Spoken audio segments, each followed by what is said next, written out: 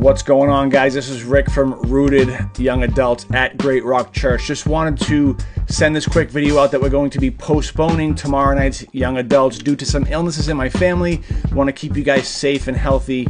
Um, so, what we're going to do instead is we're going to postpone it till next week, next Friday, um, at the same time at my home.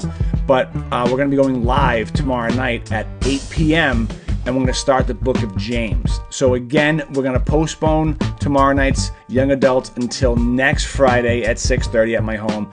But we're going to be going live on Instagram at Great Rock Young Adults uh, at 8 p.m. tomorrow night. So, hope you guys can come on out. We're going to be in James chapter 1, verses 1 through 8. It should be 20, 30 minutes, and uh, hope to see you guys there. God bless and stay healthy. Love you guys.